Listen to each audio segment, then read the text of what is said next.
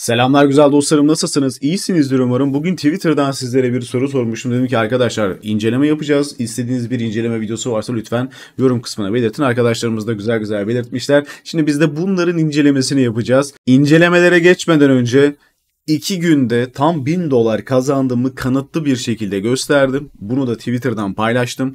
Hatta bu işlemlere girerken Telegram adresinden sizlere söyledim arkadaşlar. Giriyorum dedim ve TP aldım çıktım dedim. Sizlere bunları gösterdim arkadaşlar. Gelin hangi işlemlerden 2 günde 1000 dolarlık TP aldık bakalım. İlk işlemimiz arkadaşlar APE işlemiydi. APE'de tam tamına 1000 dolarlık bir marjine giriyoruz ve 500 dolarlık bir kazançla işlemi kapatıyoruz. Ertesi gün yani bakın burası 16 saat bu da 2 saat öncesi arkadaşlar. APT'ye giriyoruz. APT'de bir 364 dolarlık burada var. Bir de 71 dolarlık burada var arkadaşlar. Totalde de 450 dolara yakın bir para 460 dolarda buradan alıyoruz. Sadece iki işlemde 1000 doları cukkalıyoruz arkadaşlar. Sadece burada AP'ye değil Bitget'ten de AP'ye girdiğim için 500 dolar artı para da oradan geliyor arkadaşlar bilginiz olsun. Hani 60 dolar nerede veya 40 dolar nerede diye sorarsanız da o da gene Bitget'te mevcuttu. Şimdi e, dostlarımıza zaten dün sormuştum video çekeceğim için istediğiniz bir şey varsa arkadaşlar lütfen belirtin. Hemen biz klasik BTC ve Ethereum'dan başlayalım arkadaşlar. BTC'de ne oldu? 43.000'den bakın yükseldi 44.500'e kadar neredeyse 45.000'e geliyordu. Burada bir tepki aldı. Ufak bir tepki aldı arkadaşlar. 3 gündür düşüşte. Tekrardan 43 bin sulara gelmeye başladı. 43 bine tekrardan gelirse buradan tekrardan güzel bir long işlem açacağız arkadaşlar. Hatta dün akşam geldi. Şu anda işlemdeyiz 43 binden. 43.230'da falan şu anda dolanıyoruz. 43.000 gerçekten güzel bir nokta arkadaşlar. Burası tam orta nokta diyebiliriz. Tepki aldığı noktaya bakar mısınız? Neresi? Bakar mısınız tabii ki de. 45 bin dolar civarları arkadaşlar. 44 bin 500 de tepkisini aldı ve düşmeye başladı. Biz nereye kadar maksimum demiştik? 48 bine kadar. 48 binden sonra ne olacaktı? 53 bin vesaire gidecekti böyle. Ama şimdi burada durulmasının sebebi neden? Aralık ayı işte yavaş yavaş faiz indirimleri gelecek inşallah ümit ediyoruz arkadaşlar. Ocak Şubat'ta Ocak Şubat değil pardon Mayıs Haziran aralarında böyle bir indirim gelmesini bekliyoruz. Yani ümidimiz bu yönde. Hani buradan herkes diyor ki çok büyük bir tepki alacak ve 20 bin doları tekrardan düşecek. Bunlar hayal arkadaşlar. Yani gerçekten benim için bir hayal. Bunların tekrardan buralara düşmesi çok zor arkadaşlar. Hani gerçekten kötü bir olay olması lazım. ETF onaylanmaması gerekiyor. Yani ETF e, ertelenmeyecek, direkt reddedilecek ve faizler devamlı artmaya devam edecek. Ya Powell'ın konuşmalarını dinlediğimizde ılımlı yaklaşıyor adam bize. Hani diyor ki tamam hani düzelmeye başladık ben bu kadar olacağını beklemiyordum vesaire gibi cümleler kullanıyor arkadaşlar. Hani burada bizim yapmamız gereken genelde long pozisyon almak. Her videomda söylüyorum. Long pozisyon alırsak yükselişimiz güzel bir şekilde devam edecek arkadaşlar. Ethereum'a gelelim. Ethereum'da dedim ki Hani 2500 2450 bekliyorum dedim. 2400'de takıldı kaldı. 2300'den bir longumuz vardı arkadaşlar. Onu da kapattık. Şimdi tekrardan o da daha bir günlük düşüşe başladı arkadaşlar. Onun da düşüşü gene 2300'e kadar devam edebilir. 2300 civarlarından tekrardan bir Ethereum için long pozisyon hatta şöyle Şuradan bir tamamlayalım. Şunu da şöyle belirtelim ki hani buraya tekrar geldiğinde longumuzu girmiş olalım. Şimdi arkadaşlarımızın bize sorduğu analizlere hemen şöyle gelin bir bakalım inceleyelim. İlk başta APT. APT'den de zaten bir kar almıştık arkadaşlar. APT çok önemli bir dirençte aslında. Bakın neden mi böyle söylüyorum sizlere? Nereden geliyor? 6 Haziran'dan gelen arkadaşlar önemli bir direnç noktasını en son Kasım'da test etti ve şimdi bugün test ediyor arkadaşlar. Hatta size şöyle göstereyim onu da. Bakın burada söylüyorum APT 5 dolardan gelen long işlemi kapatmıştık. Burada dedim ki ben giriyorum abi. Stopumu da yakın bir yere koyuyorum. Girmek isteyen varsa da girsin. Aynı şu şekilde arkadaşlar. Kanalın tam oradayken yakaladık ve işleme girdik. Kanalı kıramadı. Dedim ben işlemi kapatıyorum 500 dolar karla. Devam etmek isteyen varsa girişte stop atsın kafası rahat etsin dedim. Şu anda herkes ya işlemde ya da çıktılar arkadaşlar büyük ihtimalle. Çünkü şöyle baktığınızda 2000 kaça kadar 2350'ye kadar bir fitil attı. Geri çekiliyor. APT'de yükselen bir kanal içerisindeyiz. RSI dolmaya başladı arkadaşlar yavaş yavaş. Yükselen bir kanal içerisindeyiz. Yükselen kanalın arkadaşlar tekrardan geri çekilmesi durumunda nerelere kadar gelmesi bekleniyor? 7300, 7500 noktalarına kadar gelmesi bekleniyor. Bu kanalın kırılımı sonucunda nereye kadar çıkabiliriz peki biz? Hemen sizlere şöyle gösteriyorum. 11 12 dolar seviyelerine kadar çıkabiliriz. Ya burada aslında omuz, baş, omuz formasyonu da var. Hani sizlere şöyle kısaca göstereyim bakın omuz, baş, omuz. Yani bu tobo. Ters omuz, baş, omuz. Burada ne demek oluyor arkadaşlar? Yükselecek bu kripto para. Ki yükseldi de zaten. Yükseldiği için de biz de rahat rahat karımızı aldık. Güzel bir kar aldık buradan. ARB'ye bakalım. ARB W formasyonu vardı arkadaşlar. Ta kaç ne zaman aralığında? Ağustos'la Kasım aralığında arkadaşlar bir W formasyonu oluşturmuştu. W formasyonu başlangıcında 1.03'tü. 1.03'ten arkadaşlar yükselişini tam tamamlaması için W formasyonu gerçekleştirebilmesi için aynı şekilde BTC'de de hani 48-49 görüyorduk ya Tobo'da. Aynı onun gibi arkadaşlar burada da daha gerçekleştirememiş yarısını yapmış. Bizim hedefimiz ARB'de 1.33 arkadaşlar ama Fark ettiniz mi? Hep bir yerde tıkılmış. Direnç noktamız neresi bizim? 1.23 ile 1.20 arası arkadaşlar. Bu direnç noktasını kıramadığı için ARB 1.33'e atamıyor kendisini. E, ARB 1.33'ü kendisine atamıyor ama ne yapıyor peki? Bakın dirence geliyor. Tık tekrardan 1.03'e kadar geriliyor arkadaşlar. Hani buradan burası şimdi spot alsak diyorum. Bakın şuradan spot aldınız. Şuraya kadar geldi. %18, %20 zarar ettiniz. Fazla bir zarar mı? Hayır değil. Bu toparlanabilir bir zarar aslına baktığınızda. Peki buradan bir buraya tekrardan geldi. Ben şimdi buraya bir çan atacağım arkadaşlar. Bildirim atacağım. Buraya geldi. Hedefimize ulaştığında %28.32. E biz kaç x giriyoruz görmüşsünüzdür zaten bizim girdiğimiz x'leri. Biz artık arkadaşlar swing yaptığımız için 5x Maksimum 10x giriyoruz. E burası kaç? 10x olsa %200 olur arkadaşlar. Şuraya geldik. %100 zararla kapatmış oluruz. Eğer 10x ile girerseniz ama 5x ile girerseniz %50 zararda olursunuz. Ya biraz daha çıkalım abi. Şuraya geldiniz %20 zarardasınız zaten. Hani fazla bir şey değil. 5x'te %20 şurada da 5 kere 5 yani %50 zararda olursunuz. Hani benim de pek fazla etkilemez gibi. Hani gerçekten ama yukarı çıktığında %150 karda olacaksınız. Paraya bak. Çok güzel bir para.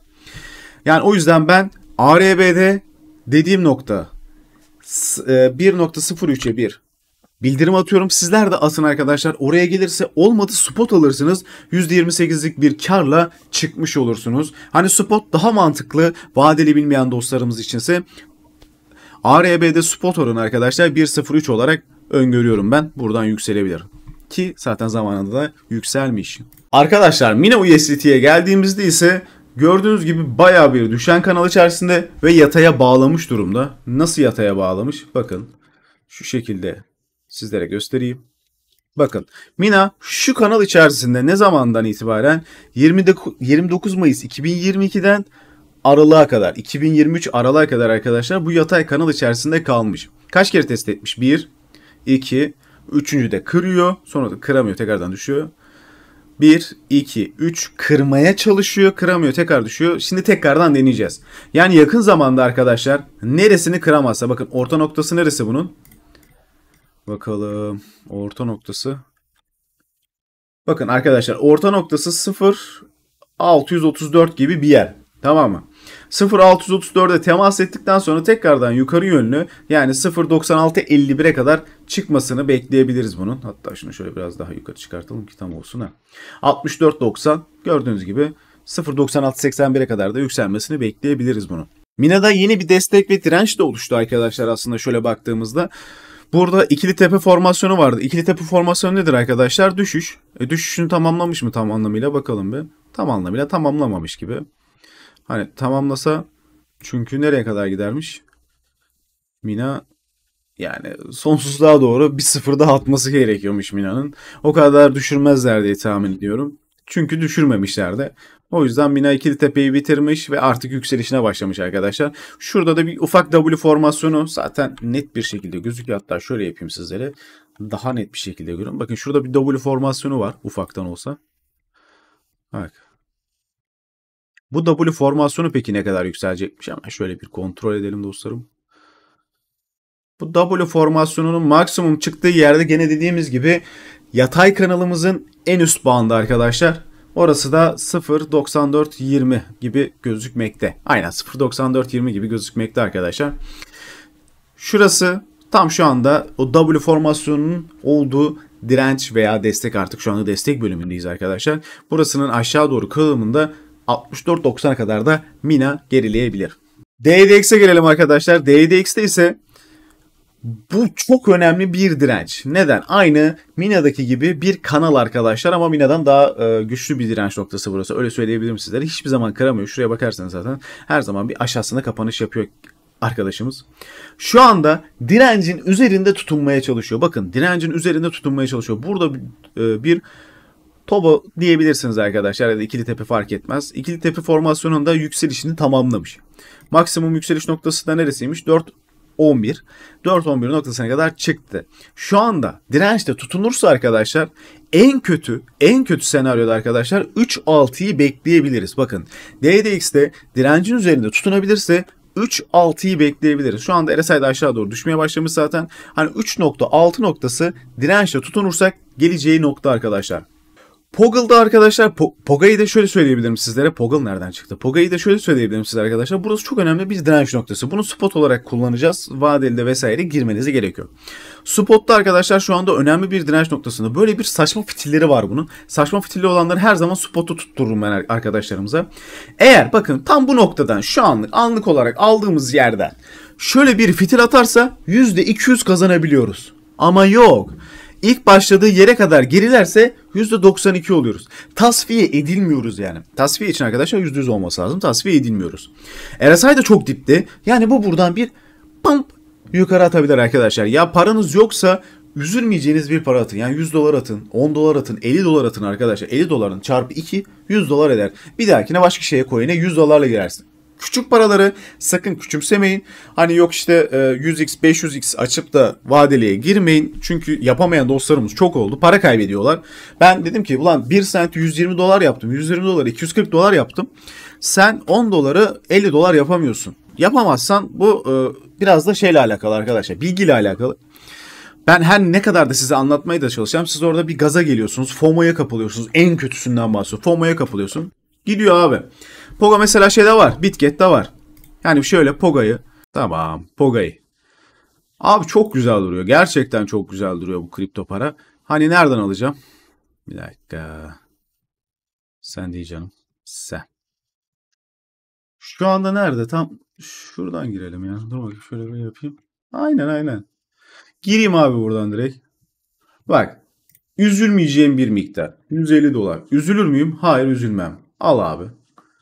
Aldım. Copy trade'e geldi mi? Aa geldi. Bak Poga'yı po, copy trade'e geldi. Şimdi bu nerede bozduracağım bunu ben? Nereye kadar fitil at? Ya en kötü en kötü şuraya kadar fitil atsın abi. Bak buraya kadar fitil atsın. %70 kar. Bakın. Oraya kadar bile fitil atsa %70 kar arkadaşlar. Az değil. Bakın hatta güzel. Bu devam etsin abi. Bu çok iyi. Yani gözünüz önünde aldım ki ondan sonra işte söylüyor da almıyorlar işte yalanlar. Baş verin bunları geçin. Ben ne yaptım ne ettim herkes görüyor zaten sıkıntı yok. Bak Poga'yı en kötü arkadaşlar buraya bile gelse en son ne zaman gelmiş buraya? Ekim'de gelmiş. Burası da gene Ekim. Kasım'da da düşmeye başlamış zaten. Poga buraya kadar gelse bak ne olurum? En fazla 150 dolar zarar ederim. Abi öbür türlü %70 hadi %100 de 150 dolar kârdayım. E ne oldu abi 300 dolar para oldu. Allah bereket versin dersin. 300 dolar çarpı 30 dersen 9 bin yakın para yapıyor arkadaşlar. Az değil yani. Avax. Arkadaşlar Avax'ı e, biliyorsunuz 8'lerde, 9'larda, 10'larda her zaman toparladık, sattık, toparladık, sattık, toparladık, sattık böyle. Artık elimizde Avax çok az bir miktarda kaldı diyebiliriz. Şimdi Avax'ın önünde neler var? Avax ne yaptı? Avax nereye kadar gidecek? Arkadaşlar yeni direncimiz Hemen söylüyorum 29'a 30. Bakın yeni direncimiz burası. ATH'i çok fazla olacağını düşünüyorum. Artık 300 dolarlara kadar çıkabileceğini düşünüyorum AVAX'ın ben. Şimdi yeni destek noktamız neresi? Peki 20 ile 21 noktaları arkadaşlar. Buraları yeni destek noktalarımız bizim. Yani 21-22 buralar artık destek noktalarımız oldu. Buradan aşağısına düşmesi için de dediğimiz gibi BTC'nin tekrardan bir ayı dönemine girmesi gerekiyor arkadaşlar. Boğadan çıkmamız gerekiyor. Yani AVAX'ta öngörebileceğimiz en kısa yer arkadaşlar 30 ile 29 arası olarak geçiyor. Azero. Azero'da yeni bir direnç noktası oluştu arkadaşlar. Özür dilerim destek noktası oluştu. Bu destek noktası spotta kullanacağız. Azero'yu vadeli madeli karıştırmayın arkadaşlar. Azero'nu neden vadeliye karıştırmayın diyorum. Şu fitilleri görüyor musunuz? Bu fitiller sizi likit eder. Bakın direkt likit eder arkadaşlar. O yüzden her zaman spot spot'a geldik. Şimdi buradan tekrardan şuraya çıktı %50 kazandık. Buradan aşağı düştü %42 kaybettik. Bu ufak bir kumar aslında. Hani burada e, ne olacağını bilmiyoruz. Azero desteği kırabilecek mi? Desteği kırarsa yeni destek 1.07'ye kadar düşecek arkadaşlar. Oradan sonrası ölüm falan filan dersek de Azero için aslında burada bir %50'lik oynamamız gerekebilir. Nasıl? Hemen sizlere şöyle söyleyeyim.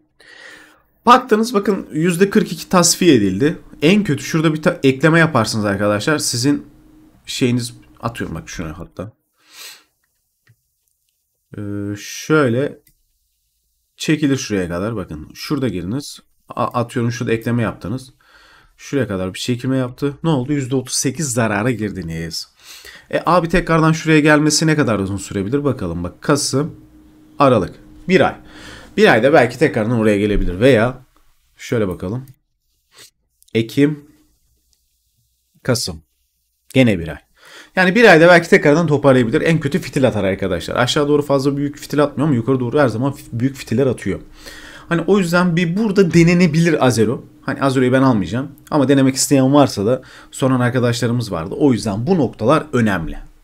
SSV'yi de arkadaşlar şu anda önemli bir e, destek noktasından zaten yukarı vurdu kendisini. iki tane nokta oluşturdu. Birincisini tamamladı. Burası ne? 26. İkincisi de arkadaşlar 32.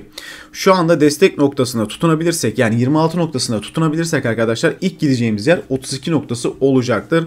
SSV için de bunu söyleyebiliriz. Burada tutunamazsa tekrardan geleceğimiz nokta 21 noktası olacaktır dostlarım. Ya TRB aslında fazla bir şey söylemek istemiyorum ama söyleyelim hadi neyse. Arkadaşlar TRB'nin yeni destek noktası 75 ile 71 arası. Bunun aşağısına düşerse sıkıntı büyük. Ama bunun aşağısına düşmez. Devamlı yukarıda kalabilirse oradan long pozisyon girebilirsiniz.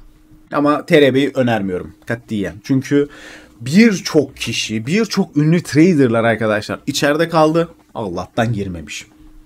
Loom. Loom da yine bir kripto para arkadaşlar öyle söyleyebiliriz. Başka bir yerden de bakalım hemen şuna bir. Hani şöyle bir Loom'a bakalım. Hani Loom e, burada da yok mesela. Başlangıç nerede bunun? Burada da yok. Ben olsam uzak dururum. A bu ne? Ulan bu ne? Bu nasıl bir... Abi Loom'a girmeyin boşver. Bunu unutun. Bunu bırakın. Gerçek bak ciddi anlamda söylüyorum. Böyle bir şey yok. Böyle bir şey yok. Burada büyük bir para dönmüş. Burada büyük para olayları dönmüş. Konuşmak istemiyorum. Gerek yok. Loom'dan uzak durun. Gerçekten uzak durun. Yani ciddi anlamda uzak durun diyorum. Bitti bu kadar.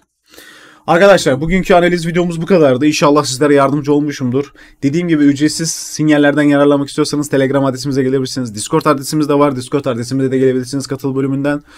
Bugünlük bu kadar. Allah'a emanet olun. Bay bay.